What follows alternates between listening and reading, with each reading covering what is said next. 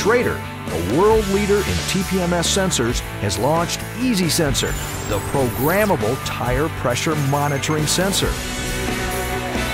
We heard that EZ-sensor was easy to use and fast to fit, so when a Ford Fusion pulled into the shop with its TPMS light on, we decided to test the claims. Schrader claims that the EZ-sensor is designed to eventually replace 90% of the 147 TPMS sensor stock today, simplify and speed up the repair process, reduce stock holding costs, prevent those lost sales because of stockouts, and reduce the risk of fitting the wrong parts so that you can make money from TPMS repair.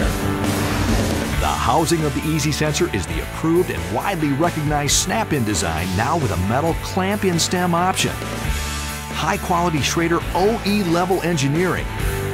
Quick and easy to install and fully programmable. Let's take a look at just how easy the job is.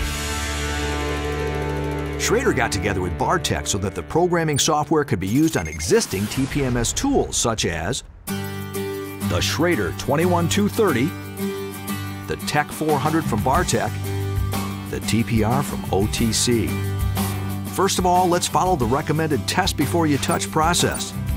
We enter the make, model year of the Ford Fusion, and then proceed to test out all the sensors on the car. The test result on screen shows that the TPMS on the front left has a faulty battery and therefore needs to be replaced. You can now get the go-ahead from the owner to replace the sensor before you have touched the car. Test before touch. We now remove the wheel and sensor and program a new EZ-sensor to replace the broken one. The part is fitted and the light goes out as the car now sees a working version of the original sensor. How long did the whole process take? Less than five minutes. Well, that was fast and easy and even used the existing TPMS process and tool. Now what if the TPMS is broken so that we cannot read its ID? You simply get it by plugging into the OBD and reading it straight off the car. And how does it work with my winter tire set? Simply read the IDs across to the tool and program a duplicate set of EZ-sensors fitted into your spare wheels. Then you can take them on and off without changing anything else on the car. Finally, how do I get the software which programs the cars? Just log on to the tool website you normally use to update your tool and download it or contact the helpline.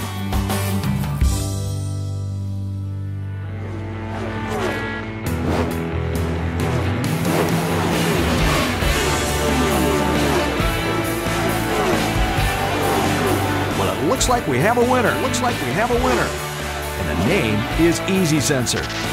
Fast, easy to use, minimal inventory, never out of date, and the highest approved quality. You can rely on tried and tested Schrader technology and innovation.